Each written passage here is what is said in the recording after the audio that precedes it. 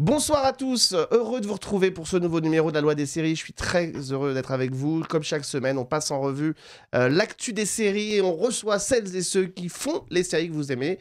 Euh, toujours en compagnie de celles qui ne manquent jamais une occasion de donner son avis alors qu'on lui demande pas Nora Gandour. Salut Ça va? Ça va et toi? Oui, ça va bien.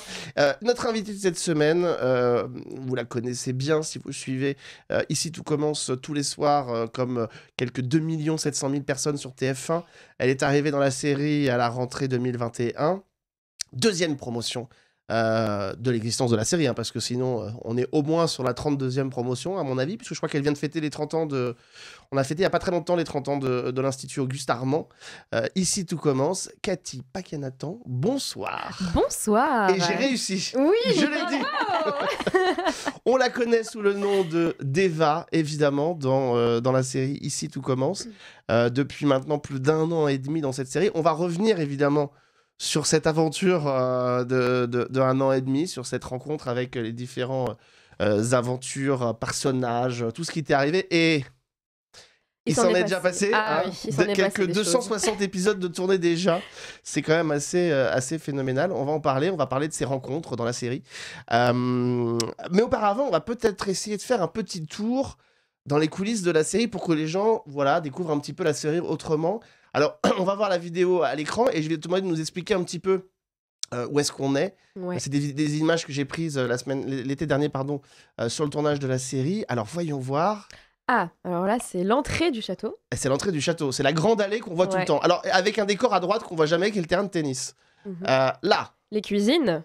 Les anciennes cuisines, parce que je crois Ouais. que depuis, il y a des nouvelles cuisines qui ont Il, y aura- été. ouais, il, va y avoir des nouvelles cuisines, mais ça, c'est le- les cuisines classiques euh, qu'on voit depuis maintenant euh, de, deux ans, trois ans. Et là, on sort des cuisines Et là, on va rentrer dans le fameux double, A, A. Ouais. euh, dans lequel il se passe aussi beaucoup de choses. Alors, euh, voilà, là, on a les coulisses du deux, deux salles, deux salles hein, deux- un petit couloir qui renonce et qui Ouais. permet de, de fusionner entre les deux. Et derrière, c'est le double A, comme on le voit finalement assez peu souvent, puisqu'on on est assez peu souvent dans ce, dans ce petit couloir-là, C'est vrai, A. mais euh, il va y avoir des, des séquences dans ce couloir-là. Ouais, il va se passer des choses Il va se intéressantes. passer aussi. des choses intéressantes. et puis, euh, donc ça, c'est le, le fameux double A. Euh, et enfin, alors là, on rentre, on est dans le grand parc du château, Ouais.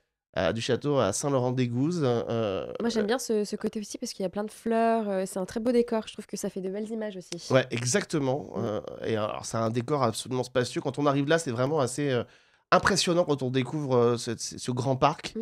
euh, dans lequel il y a effectivement tous les décors de la série. Et on va avoir un dernier décor que tu connais bien avec l'un des personnages euh, avec qui tu Attends, j'essaie de deviner. Le, Bah. po- le potager Le potager C'est notre potager Qui est au bout de cette grande allée qu'on a vue. Oui. Euh, Mais c'est beau, c'est la serre. Il- elle est magnifique. Il fait Ah très chaud dessous quand même. Il fait super chaud. Quand... En plus, il y a les moustiques. C'est horrible. Vraiment, quand il pleut ou quand il fait très chaud. Mais il se passe beaucoup de choses il se passe de très belles dans choses. ce, dans ce décor. Hot. Euh, Souvent hot. Ouais, Hot, souvent hein. hot. Ouais, c'est ça. Plus qu'on cultive, quoi. Hein, euh, Finalement, on cultive pas trop, c'est vrai. Alors, que ce personnage de Deva, pour celles et ceux qui prendraient la série en cours de route, comment toi tu la présentes? Comment tu peux nous, nous, en parler de Deva? Deva, euh, alors moi, le premier mot qui me vient à l'esprit, c'est euh, le mot euh, courageuse. Parce que dans son parcours, elle part quand même, elle quitte un foyer, elle quitte un pays. Donc, parce que de base, quand elle est arrivée, en fait, elle est indienne. voilà, c'est une indienne. Et qui quitte ce pays, qui quitte toute sa famille, etc., pour se retrouver en France et pour apprendre un peu, du coup, le, le métier dont qu'elle a envie de faire, donc la cuisine. Et, euh, et en fait, dans toutes ces nouvelles aventures, bah, il se passe beaucoup de choses et elle essaye de, de s'en sortir, elle essaye hum, d'évoluer et elle va vachement évoluer aussi et, euh, et aussi en fait euh, s'épaissir un peu. Enfin, Ouais. Genre au niveau du caractère, elle va, elle va se S'endurcir. renforcer, s'endurcir, voilà. Ouais. Et Dieu sait que euh, la- la- le sort ne l'épargne pas dans, Non, dans la série depuis, depuis les débuts. On va, on va évidemment en reparler, on va parler de ces gens que tu as croisés. Mais, mais toi, quand tu arrives dans, dans ITC, alors sans nous reparler de ton, de ton parcours, parce qu'on va y venir dans un deuxième, dans un deuxième temps, mais quand tu arrives sur ITC, euh, c'était évident pour toi de rejoindre un feuilleton quotidien? Alors en fait, pas du tout. Parce que moi, de base, euh, juste avant, j'étais masseuse. Et avant, avant ça, j'étais co- encore comédienne. Ouais. Mais en fait, euh, voilà, j'étais devenue masseuse parce que j'adore le travail du corps et le soin et tout. C'est un truc euh, qui m'a toujours parlé. Et en fait, euh, un jour, un- mon ancien agent m'envoie un casting Et, et là, je sais pas pourquoi, mais vraiment, hein, je sentais que j'allais la voir. Donc j'y vais. pour toi. Mais je sais pas, je dis, en fait, j'y vais en totale détente. La veille, j'ai fêté un anniversaire. J'étais bien le lendemain, je me réveille plutôt, euh, voilà, chill. Je prends mon petit café, j'arrive au casting, euh, sans pression, sans me dire il faut absolument que je l'aie ou quoi. En fait, j'y vais vraiment en détente, en mode, bah si c'est pour moi, c'est que je dois la voir, et si c'est pas le cas, c'est pas grave. Euh, donc du coup, euh, en plus, enfin, c'est des trop belles rencontres avec Ingrid et, et tout euh, le, le Dearcast et, euh, et voilà, donc ça s'est fait vraiment avec euh, cette rencontre, ce casting, le jour de l'anniversaire de ma mère. Euh, Ah, c'est beau, quand même, c'est hein. beau, c'est beau. Ouais. Symbole- on- les, les petits symboles sont toujours présents, ça fait, Oui. toujours, euh, ça fait toujours du bien. Euh, c'est quand même un sacré boulot. Alors déjà, je pense que les, les- après cette émission, les, les recherches dans, dans- dans Google vont euh, monter en massage. flèche sur le massage. Euh, je pense que ça va être assimilé à, à Cathy. Il y a Cathy masseuse. Non, mais ça faisait partie d'un. C'est. Enfin. C'est. Moi, j'aime bien ce truc que dans la vie, en fait, euh, tu peux être intéressé par plein de choses. Et, euh, et moi, je, je m'intéresse à plein de choses. Genre, j'adore même dessiner, chanter. Et puis, et là, au- aujourd'hui, je suis comédienne et c'est une un rêve d'enfant en fait que je réalise et, euh, et je crois qu'à côté j'avais besoin de travailler le corps j'avais besoin de travailler aussi parce que quand j'ai fait des écoles de théâtre dans ces écoles là on travaillait ce truc de il faut prendre soin de, de l'acteur prendre soin de, de notre partenaire de jeu. Et là-dedans bah, il y avait ce truc de- d'échauffement du corps et du toucher et, et tout ça. Donc en fait euh, c'est un peu naturellement. Et puis même de manière euh, finalement il n'y a pas un grand pas il n'y a pas une grande différence entre être ma sœur et être comédien parce que tu es dans l'instant présent dans les deux cas. C'est bien. Oh. Non, franchement, respect. Ouais. par, par contre, par contre, alors faut expliquer que quand euh, les, les comédiens comme ça sont amenés à, à se lancer dans une aventure professionnelle, euh, une nouvelle aventure comme ça, c'est vrai que parfois ils ont des équipes de communication brillantes qui les aident, euh, qui les aident à savoir ce qu'il faut dire, pas dire, pour pas faire de, de boulettes. Euh, Il y a une chose qu'il ne faut jamais dire quand on est euh, invité dans un plateau de, de radio, par exemple, c'est qu'on est comédienne, c'est quand on dit qu'on est chanteuse. Parce que ce qui, Non, peut arriver, ce qui peut arriver, c'est que l'animateur non. un peu non médisant te dise possible Tu connais les paroles de Ici tout commence Ah bah. Ah non, non, non, mais si, mais je peux pas chanter. Je Mais crois non, que mais- tout va bien jusqu'ici, mais si. Non, mais en fait, c'est parce que. Non, mais tu vas pas trouver une excuse. Non, j'ai pas trouvé Tu es dans l'instant présent. C'est vrai. Non, mais c'est parce qu'en fait, je travaille ma voix. Je travaille avec le coach qu'on a euh, sur le plateau avec Pascal. On travaille euh, parce que justement, ma voix elle était pas placée au début et je le savais bien. Donc on la place et puis je chante, mais c'est dans mon. C'est hyper. En plus, c'est hyper intime de chanter. Je crois que tout va bien. Allez, allez. Non, mais je vais juste dire, je, je crois que tout va bien. Ouais, c'est un carnage. c'est un- affreux. Non, mais Alexandre, tu me fais faire euh, un, un truc, mais c'est horrible là. Non, mais moi je, moi je pense que les gens sont en si tu attente veux, de ça. si tu veux, attends, si, si- attends. Si tu veux, genre d'ici un an, tu me laisses un an, je m'entraîne sur une chanson et Un an. j'arrive un an et là je, je me pointe ici, je te chante une chanson. Ouais, c'est ça. Celle-là. Voilà, celle-là si tu veux. Elle est, elle est, Voilà. elle est maline. Euh, Oui. C'est enregistré, c'est dans la boucle. Maxime Larcan, je vais m'isoler ce petit moment pour qu'on puisse s'en souvenir. Le rendez-vous est pris dans un an. Euh, Qu'est-ce qui est le plus difficile quand on arrive sur un feuilleton quotidien dans les, dans les réflexes à prendre. Est-ce que c'est la quantité de texte à apprendre? Est-ce que c'est euh, le fait d'être bon tout de suite? Qu'est-ce qui est le plus difficile? Euh, bah, moi déjà, je crois que il y a ce truc de, il faut euh, faire les choses bien. Il y a un truc, euh, je me mets peut-être une pression, mais bah en plus euh, quand tu joues, bah tout le monde te regarde un peu, donc faut se dire ah putain, faut que je joue bien, et donc tu te mets un peu une pression, et en fait finalement tu, au début c'est toujours un peu euh, moyen parce que t'es hyper stressé, t'es tendu, et puis j'ai envie de t'entendre avec tout le monde, et puis tu rencontres beaucoup de monde. Moi je sais que le premier jour, mais j'avais la tête mais oh, en feu parce qu'il fallait re- fallait retenir le- plein de prénoms, fallait retenir plein de gens, les lieux, etc. Et j'étais là, oh là là, mais comment je vais faire ça? Donc je suis rentrée, je me suis mais, mais couchée direct. Il y avait un truc de, oh, j'étais fatiguée quoi. Mais à la fois, c'était trop beau parce que tu rencontres des, gens avec qui tu as travaillé et aujourd'hui, bah, tu les connais tous en fait. Et, euh, et c'est le cadre est incroyable, les gens sont assez exceptionnels et il y en a pas mal qui m'ont marqué. euh, euh, et aujourd'hui et pour après, et avec qui je veux travailler. Donc, euh, Il y a aussi des gens très désagréables, mais mais Non, pas du très tout. c'est pas mais vrai. Ils vraiment, tous mais- très sympas. Oui. Et on en connaît. Mais Non, mais en fait, après, dans un groupe, c'est normal. Euh, Il y a des gens avec Des qui tu... affinités. Des affinités, les gens, les gens totalement. vont le croire en fait, c'est pas vrai du tout. Hein. Je Ah non, dis ça vraiment vrai. pour euh, pour pour parce que ouais, c'est des bêtises parce que c'est vrai que pour avoir l'occasion d'y être, de les rencontrer souvent, c'est vrai que c'est ça reste des équipes et je pense que sur ce genre de projets qui sont euh, assez colossaux euh, en termes d'infrastructure et de personnes, en vrai, euh, euh, les égaux il faut les mettre au placard et, Ouais. et- et les rivalités aussi, sinon ça marche ouais. pas quoi. Ouais, ouais. Non, non, il faut. Je pense que c'est. Bah. Après, c'est important et c'est bien.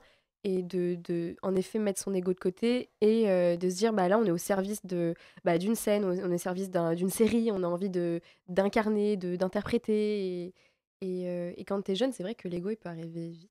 Ouais. du coup, le plus important, c'est de se dire, OK, pourquoi tu es là? Qu'est-ce que tu veux faire? Et en fait, d'avoir une forme de simplicité, peut-être. Je dis ça, et tout à la fois, c'est un travail au, quotidien, hein, mais j'essaye de faire les choses de manière simple et joyeuse, et à la fois... Qu'est-ce que le lieu unique change? Qu'est-ce que le lieu unique change dans, dans, le, dans, la, dans la gestion à la fois de la pression, du travail? Parce que la différence de, de ici, de Demain nous appartient, de Plus belle la vie, de Un si grand soleil, vous êtes quasiment uniquement dans un seul lieu qui est celui du château euh, et de l'Institut Auguste Armand. Est-ce que, est que ça change psychologiquement, même si ça reste un décor Qu'est-ce que ça change pour vous en tant que comédien? Euh, Est-ce que vous sentez une espèce de pression particulière d'être dans un lieu unique, une espèce de, de, ou pas du tout, de tension qui peut être là, enfin de tu vois de comme une télé-réalité en fait, ah, tu vois. Ouais. Bah, bah, en fait, c'est vrai que comme on y est tous les jours, euh, je sens aucune pression parce que tu as l'habitude, c'est un, un, peu chez toi, tu arrives à 6h du mat, tu repars à 19h quelquefois ou euh, parce que tu manges là-bas et puis euh, tu, tu, tu, papotes et puis tu tournes et puis euh, et en fait non, tu moi je sens pas forcément la pression non avec ce petit village de Saint-Laurent-des-Gouzes qui a repris des couleurs et euh, évidemment toujours des gens qui attendent devant l'entrée du château. Ah oui, non, mais sont, en plus, ils sont, enfin, c'est adorable, ils, sont, ils nous attendent, ils nous soutiennent vachement. Enfin, vraiment, c'est, il y a vraiment des gens euh, qui, enfin, je trouve ça, j'ai pas de mots pour décrire, enfin, ça paraît bateau, mais vraiment, je trouve ça super. Euh, touchant de pouvoir nous soutenir comme ça, de nous regarder tous les soirs et, et en plus, euh, ouais, ils nous offrent des petits cadeaux quelquefois, c'est trop sympa. Enfin, là, pour Noël, il y a eu quelqu'un qui a eu un calendrier de l'Avent avec des chocolats. J'ai fait Oh, mais c'est le meilleur cadeau du monde Donc, elle veut un calendrier de l'Avent avec, avec, des chocolats. Alex, tu notes, tu notes Je vais noter aussi pour la prochaine fois qu'on se verra. Euh, Nora, un mot quand même sur à la fois. Bah, J'adore les calendriers de l'Avent. Oui, je sais. Ah, mais ça, c'était pas prévu pour être marqué quelque part. Euh, non, mais un mot sur ITC et sur le personnage de, de Deva. Alors, bah, sur ITC, il y a bah, c'est une super série, c'est hyper bien fait dans les moindres détails, les personnages sont caractérisés au maximum, les dialoguistes sont incroyables. Euh, c'est une série qui pour moi, alors moi, moi j'aime beaucoup euh, les quotidiennes, hein, toutes, mais vraiment euh, ITC, c'est un, bah, faut le dire, hein, même si bon, c'est un niveau au-dessus de tout ce qu'on a vu en France. C'est vrai, ça pourrait être un, nouveau Beverly Hills ou un Gossip Girl. Ou un... enfin, ça pourrait être très facilement porté à l'international. Ça passerait esthétiquement, il n'y a rien à redire. Enfin, c'est, c'est le moindre détail euh, touche la perfection et c'est vrai quoi. Et, ça enfin, aussi sur les comédiens. Moi, je suis vraiment sur les dialogues. Je trouve qu'il y a, il y a ah, vraiment un niveau de dialogue oh. euh, très important. Je trouve que c'est, c'est extrêmement euh, intelligent le fait qu'il y ait les, les, adultes, enfin, les profs, les, euh, les élèves, ça, ça touche quelque chose un peu de transgénérationnel, puisque comme on va un peu dans l'intimité de tout le monde, même si c'est autour de la cuisine, eh ben, tu as des problématiques de quarantenaire, de cinquantenaire, de trentenaire, de voilà. Donc ça, ça touche un peu tout le monde. Ça devient un programme familial, alors qu'au début tu pourrais te dire que ah, bah, c'est une école, euh, je vais mm. pas me retrouver dedans, pas du tout.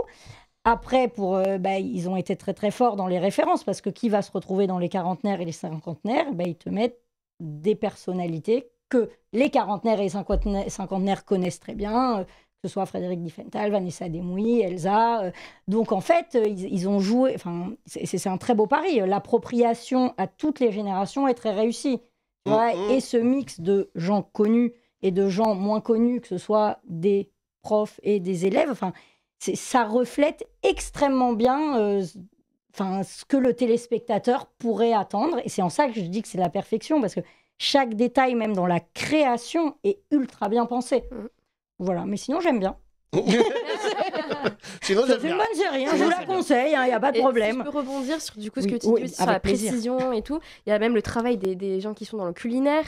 Euh, les figurants aussi, parce qu'ils sont là, on les, on les connaît bien aussi, parce qu'ils sont là tous les jours. Et les dialoguistes, mais ils font un travail de dingue. Moi, franchement, à chaque fois, j'ai envie de leur envoyer un message tous les soirs. C'était génial, merci d'avoir écrit un truc aussi bien. Enfin, c'est le travail est quand même super précis. Et, et ce que tu disais est intéressant parce que sur, euh, on a vu tout à l'heure le décor de la cuisine. Alors pour dévoiler un peu les, les coulisses de la de l'institut, en fait, vous avez le décor principal de cette grande cuisine et vous traversez le, la cuisine avec un tout petit patio avec un escalier qui monte à l'étage qui est la salle YouTube. Et là, dans le renfoncement, en tout cas quand moi j'y suis venu, il y a une petite salle pour des vrais cuisiniers, entre guillemets, qui préparent les fameux plats qui vont ensuite servir de, euh, de modèle dans la série. C'est intéressant leur, euh, leur passage des plats. Enfin, je dévoilerai rien, mais c'est vraiment très intéressant le process de fabrication des plats. Il, est, il est vraiment. Euh, vous en saurez plus. Ça t'a donné envie de, de mettre à la cuisine? Mais moi, j'adore cuisiner. hein. Bah oui. euh, J'adore manger.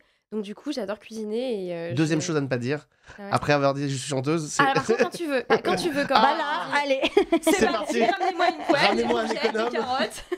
On va, on va se prêter un petit jeu justement pour parler un peu de ces autres personnages. On va te montrer euh, des photos de personnages avec qui tu, normalement tu as eu une interaction, des, des, des, Ouais. des- des choses. Je voudrais que tu nous en dises quelques petits mots. Voici la première photo.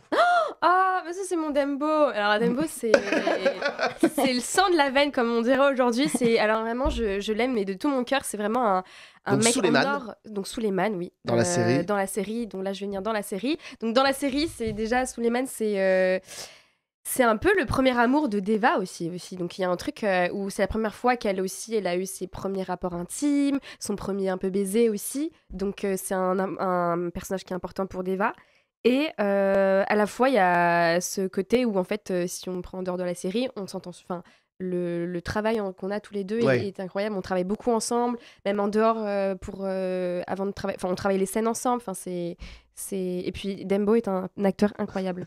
Parce Ça, que- c'est noté. Ouais. On connaît Dumbo Non, mais maintenant. il a fait une scène, vous allez voir, bientôt qui va arriver. Et je vous jure que euh, on a donc on a tourné cette scène et il m'a mais je- j'ai j'ai été juste euh, Enfin, c'est une scène qui est folle et, et il l'a joué d'une telle façon où j'avais rien à faire. J'ai juste sorti mon texte, mais parce qu'en fait, euh, euh, enfin, il a été fou. Il vient de DNA, puisqu'il est le oui. fils de Frédéric Diffenthal et Vanessa Demouy. Enfin, de Vanessa. De, de, Non, de de Frédéric Frédéric pardon. Beau-fils de Vanessa Demouy et il vient de, DNA et il a été effectivement euh, transféré dans, dans ITC. Euh, deuxième personnage qu'on va voir. Oh, c'est Zouzou ça. Ou Jasmine. Donc Dumbo Zouzou. euh, c'est vraiment. J'ai pas peut-être trop d'amour, j'en sais rien. Mais euh, Zoé. Elle est mais arrivée grave. en même temps que toi. Ouais, elle est arrivée. vous en même étiez que moi. coloc. On était coloc. Euh, elle cuisine d'ailleurs super bien. Ah, dans la vraie Euh, vie Dans aussi. la vraie vie aussi. Euh, C'est bon à J'adore noter. son, Je le sais avant qu'elle vienne maintenant. Ouais, tu verras. Et même, je trouve que c'est une actrice qui est géniale. On- C'est une bosseuse aussi. Moi, j'adore les bosseurs parce que j'adore euh, bosser. Enfin bref, on s'en fout. C'est une des réponses. Non, mais c'est bien, c'est bien. Mais euh, on bossait aussi beaucoup nos scènes ensemble. On a été en coloc aussi, donc euh, dans le sud.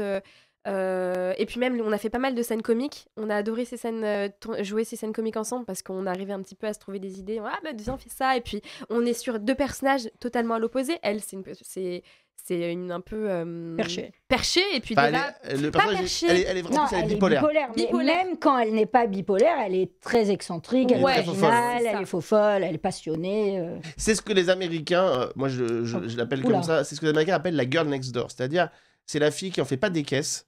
Euh, et qui en même temps, euh, elle, attire l'attention Mm. et c'est la fille dont les, les, co- les filles ont envie d'être la bonne copine, euh, Mm. que les mecs ont envie de séduire. Enfin voilà, il y, a- y ce côté effectivement très spontané, très naturel ouais. de la girl next door qui a pas besoin d'en faire des caisses et qui voilà, et ça fait partie des, des révélations de cette deuxième si- saison de, Et de si je ITC. peux me permettre, ce qui est sympa dans la deuxième saison, bon, la première saison très sympa, mais dans la deuxième, avec l'arrivée de Deva et Jasmine, c'est qu'ils ont commencé à traiter des sujets de société on n'aurait pas dit euh, forcément dans un cours de enfin, dans une école de cuisine.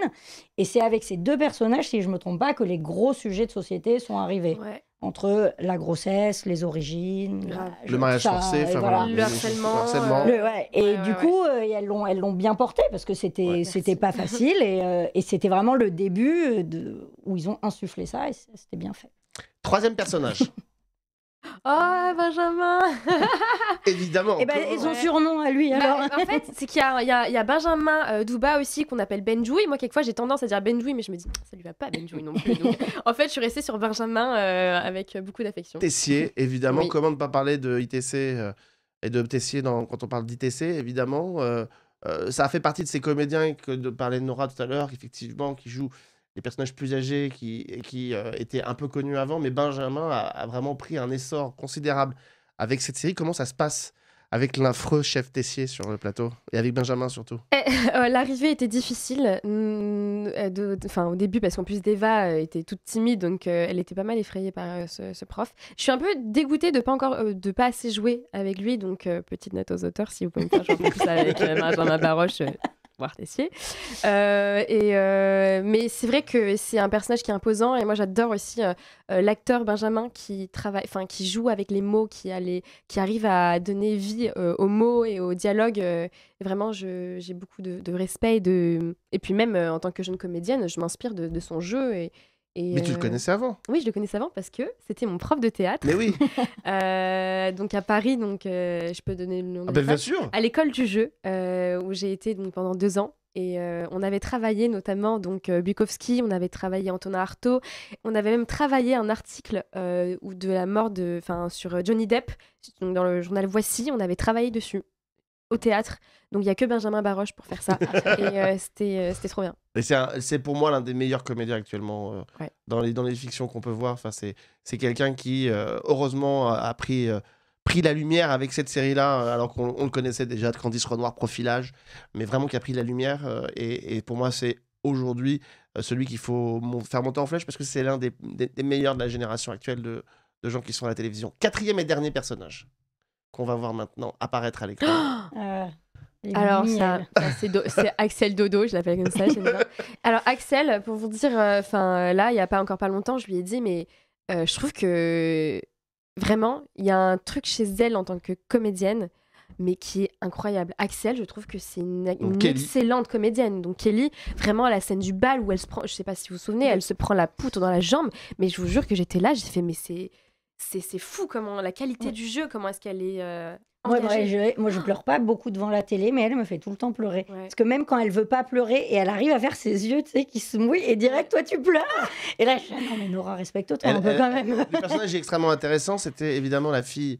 Donc c'est la fille de Florence Coste qui, est la, la- qui était au début un peu la concierge de l'école et qui est arrivée, qui devait faire ses preuves, qui devait pas devoir passer le, le, le, les- les- le concours pour rentrer, puis qui maintenant fait partie des personnages importants de la série Et qui Euh, était quand même euh, analphabète. et qui était évidemment analphabète. En Non, plus, c'est pas rien. rien. C'est pas rien du tout. Euh, voilà, les quatre personnages, il y, en a, il y en a évidemment bien d'autres.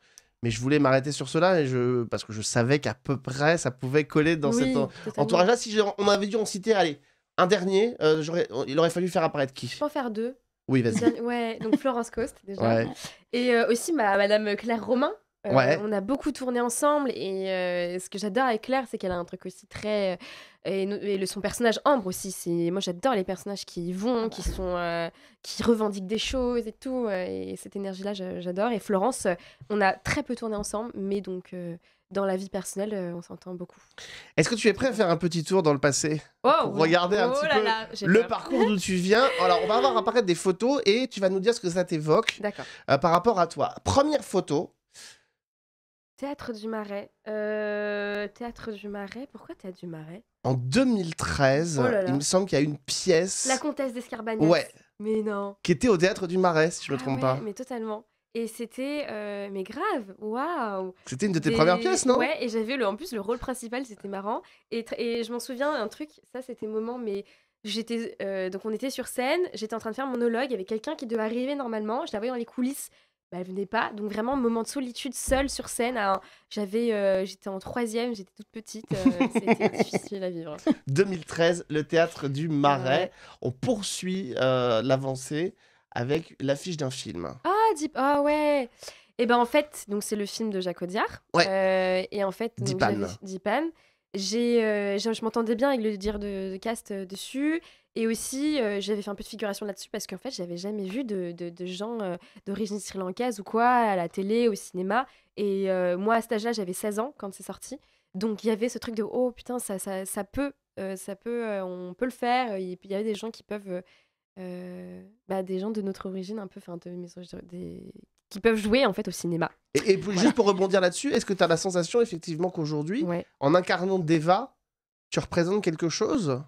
Finalement à la télévision Je, je, je veux pas dire que je représente. enfin, Non mais ouais. ton personnage et toi du coup, Bah, je Vous représentez quelque de- chose Oui, bah, je reçois pas mal de messages en mode Ah, les gens qui me disent Ah putain, c'est trop cool, euh, une, euh, une personne euh, du coup d'origine euh, sri-lankaise, ou même euh, ils pensent que je suis indienne aussi, tu vois, euh, qui passe à la télé. Et puis je t'avais dit cette anecdote de mon. d'un On était à une réunion de famille, et il y a un petit cousin un peu éloigné qui dit Ah, il y a une marron à la télé.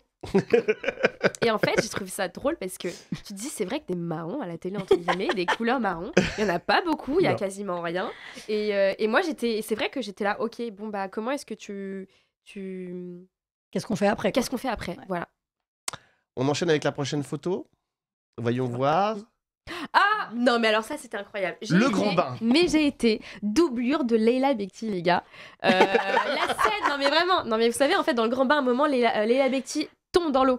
Est-ce que vous avez cette scène avec la chaise oui. Et bah c'est moi qui suis tombée dans l'eau, je me fais pousser par Guillaume Canet dans cette piscine et euh, c'était fou parce que j'étais devant tous ces, ces acteurs mais genre Benoît Poulvord, Guillaume Canet, et je devais refaire une un truc pour la doublure euh, que Leila Bekti dit, enfin c'était fou comme expérience, c'est euh, euh, trop belle rencontre. Un gros succès du euh, cinéma français en plus. Grave, ouais, ouais. Non, mais du coup, j'avais rencontré Be- Leila Bekti qui est incroyablement. euh, elle est adorable. Il y avait Benoît Poulvord, Guillaume Canet aussi. Enfin, tu sais, j'étais là en milieu d'eux. J'étais là, ok. Donc vous noterez bien, dans Friends, Joey Tribbiani est le doublure des fesses de Al. Pacino. tu es la doublure des, des jambes de Leila Bekti dans le grand bain. Voilà. Ça ne se- ça ne s'invente pas. Dans la prochaine photo, on te voit pour une fois. Ah. Attention. Ah oui euh, Nicky Marianne. Donc, ça, c'était mon premier euh, un peu court métrage. que, Au second plan, te voit en bas avec Ouais, le téléphone. Je jouais la, la, la copine euh, de, euh, de l'actrice principale. Et euh, c'était aussi une très chouette. Enfin, c'était un peu une première expérience de moi qui euh, prend les devants, je, va euh, dans un tournage, euh, euh, je joue dedans un peu et tout. euh. Nicky Marianne, donc Ouais. un court métrage. Euh, bon, on mettra le- la bande-annonce euh, dans le, dans le du replay pour que vous puissiez voir à quoi, à quoi ça ressemble. Autre euh, expérience, Ah, oui Camping Paradis. euh, ouais, big up à, à Emmanuel Sebo qui dirige cette radio pour qui c'est une merci. qui adore cette série. Et c'était ton, ça a été, alors c'est arrivé en même temps qu'ITC, mais Ouais. ça a été ton premier rôle à la télé. Oui, c'est mon tout premier rôle. je peux vous dire que j'étais comme ça, super stressée. Et, et du coup, ça a été une très belle ex- expérience aussi. euh, et je, je suis contente d'avoir. d'avoir C'est comment. Il faut, il Bah, en fait, en vrai, moi, je en plus, ce qui est fou, c'est qu'en fait, je... moi, genre, euh, je... je connaissais pas trop les danses et tout, parce qu'en fait, j'en fais pas. Bah non, Donc, évidemment. euh, Non, mais t'aurais pu pour la, la série du coup en apprendre. Oui, et j'avais, il y avait une chorégraphe avec qui on dansait sur ce truc-là et tout. Et, euh, et c'était, c'était trop chouette de, de, ouais, avec. Non, mais c'est parce qu'en fait, c'est une question qui est intéressante parce que moi, en soi, je, je suis née en France et tout. Ouais. Et même si mes parents ils sont d'origine du, du Sri Lanka et tout, bah en fait, j'ai toujours été dans. Bah pour moi, je suis une parisienne dans ma tête. Bah, et du coup, quand euh, on me dit ouais, donc comment vous faites et tout, je dis bah je sais pas. Genre, euh, c'est une question d'identité qui est hyper intéressante. J'en parle beaucoup avec mes amis aussi qui ont des origines et tout. Et, j'ai trop envie, moi, c'est vrai que c'est c'est des sujets qui m'intéressent vachement, les origines, la question d'identité, ce truc de en fait, euh, bah. Au Sri Lanka, quand j'y vais, bah, on me considère pas trop comme une Sri Lankaise parce que je suis trop francisée. Mais ici, on me considère pas non plus totalement comme une Française parce que j'ai des origines. Il y a plein de bouquins dessus, euh, j'en lis beaucoup. et c'est des sujets qui sont très intéressants. Alors que pour moi c'était beaucoup plus basique, c'est que je me suis dit, elle connaît forcément la Corée de la série. Et il va te la faire Et faire que je vais te la faire faire. Putain, ah ouais, tu veux que je la fasse? Là, je veux bien. Ah, attends, mais alors, viens, non, mais il faut rester là au milieu. Voilà, on va voir parce qu'il faut quand même qu'on te voit. Alors attends, est-ce que c'était comment? C'était Euh, euh, Il y avait un truc on- euh, comme ça déjà. ouais. Et, euh, et ah Non, non, mais c'est pas mal. Ah, déjà, c'est bien. hein. Franchement, Alex, il sait pas faire ça. hein, Je te... Bah voilà, bravo, Ah, mais bravo, bravo. bravo. Non, mais c'est très bien, tu vois. Ah, tu vois Et alors maintenant, la même chose, mais en chantant en même temps. Et finalement, avec la dernière photo, la boucle est bouclée. Ah oui. Euh, Magnifique, franchement. Ah ouais Ah ouais, non, mais Ouais, tu, es magnifique. Et c'est Ah. au moment où, euh, justement, la question du mariage, euh, du mariage arrangé euh, Ouais. forcé avait été fait, puisqu'elle voit débarquer à l'Institut son. Mais c'est arrangé, c'est pas forcé. Oui, enfin, Ouais. euh, c'est arrangé, mais elle non. voulait pas. Donc bon. euh, Non, elle voulait, Elle voulait. pour sa famille. Ah, et elle donc- connaît le mec et machin. Oui, c'est pas la même chose. C'est pas la même C'est chose. pas ouais, du tout la même Ouais. chose. Forcé, c'est tu connais pas le mec et, Et du jour te- au lendemain, tu vas et t'es Ouais. enfin, tu, chez tu te lui. retrouves quand même marié avec un mec avec qui tu veux pas te marier. Oui, mais Non, parce qu'au début, elle là, veut se marier. Oui, elle est Elle d'accord, veut. c'est vrai, C'est pas la même chose. Comment il s'appelait la déjà? Vikash. Vikash, c'est ça.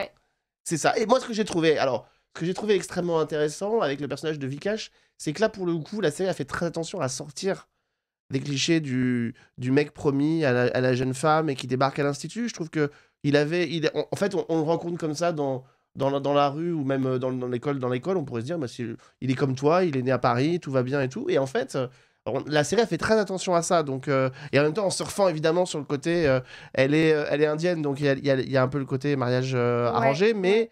Voilà, c'est quelque chose auquel tu as fait attention quand tu as reçu le script au départ? Euh, oui, euh, Ouais. moi j'étais là, waouh, ok, d'accord, qu'est-ce que je fais avec tous ces sujets-là? Euh, Après, moi je sais qu'en plus, ces trucs, ces histoires de mariage arrangé et tout, c'est toujours d'actualité dans, en fait, dans, la culture et tout. Donc à la fois, j'étais contente de pouvoir me dire, ok, tu peux défendre ça. C'est un sujet qui. Ouais, je trouve que c'est. c'est... En fait, c'est quelque chose que je. À la fois que je me dis, ok. En fait, c'était, je me souviens que c'était en fait un moment qui était particulier pour moi et j'ai encore du mal à mettre des mots dessus parce que c'est vrai que c'est comme si euh, on, on me fait raconter cette histoire et c'est comme si je dois un peu raconter l'histoire de toutes mes ancêtres femmes en fait, de Ouais. toutes les cultures et je dis ok comment est-ce que moi euh, dans ce petit corps et dans cette petite vie que j'ai là que, que- comment je peux raconter ça Euh, et comme ça me touche aussi parce que Évidemment. je, je trouve ça que c'est- je trouve que c'est un sujet qui me touche bah je voulais le, le faire euh, d'être au, au plus près de, de cette vérité et de ce que les femmes qui vivent vraiment ça qu'est-ce qu'elles le ressentent et qu'est-ce qu'elles vivent euh, Et- si c'est clair ce Et pour et clair. mais pour prolonger ça, et justement pour arriver à, à notre conclusion, est-ce que justement, pour revenir à ce qu'on disait tout à l'heure, est-ce que justement le fait que tu sois quand même quasiment la première à la télévision à incarner Ouais. un personnage d'origine indienne ou indienne ou, ou, ou toi sri- d'origine sri-lankaise, est-ce que du coup, cette, cette espèce de, de- poids qui peut exister sur tes épaules en train de se dire, je suis la première, donc je peux pas faire n'importe quoi, euh, est-ce que tu l'as, tu l'as intellectualisé au moment de le jouer ou est-ce que tu l'as simplement joué? Franchement, je- j'y pense même pas. Bah, Justement parce qu'en fait, moi, j'aimerais que, du coup, même dans les projets futurs et tout, qu'il n'y a pas ce truc de couleur, qu'on me dise Ah, je veux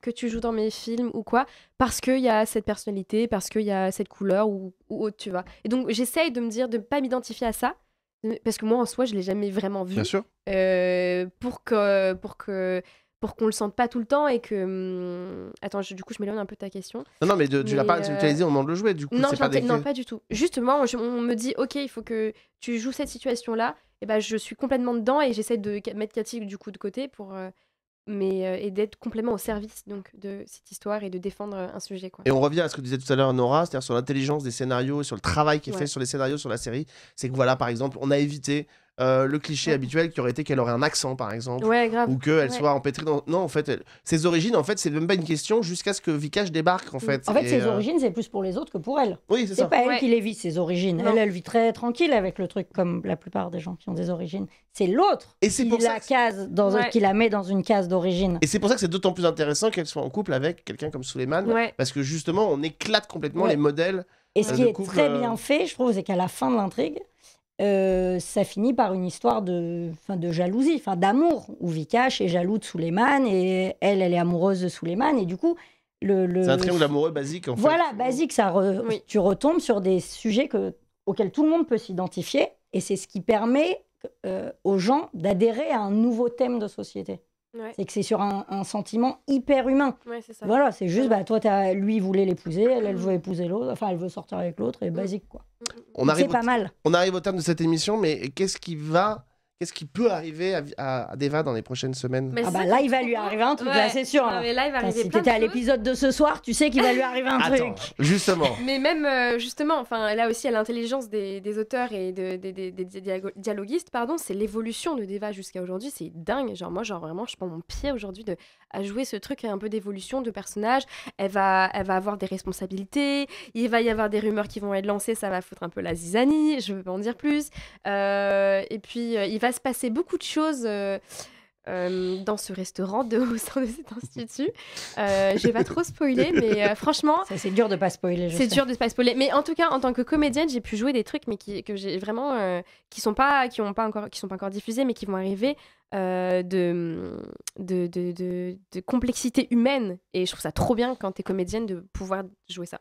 En tout cas, on espère que euh, les chaînes, différentes chaînes, vont commencer à s'intéresser effectivement à, à toi pour euh, d'autres projets, Euh, indépendamment, on l'a bien compris, de ses origines, pour qu'enfin on non, puisse et puis les origines, c'est important aussi. Je dis pas qu'il faut mettre de côté, c'est Oui, hyper important parce que c'est moi aussi. bien sûr, Mais, mais ne pas te recruter que parce pour que... ça. Ouais, c'est ça. Mais et puis c'est trop bien aussi. Ou alors que ce soit pas un sujet.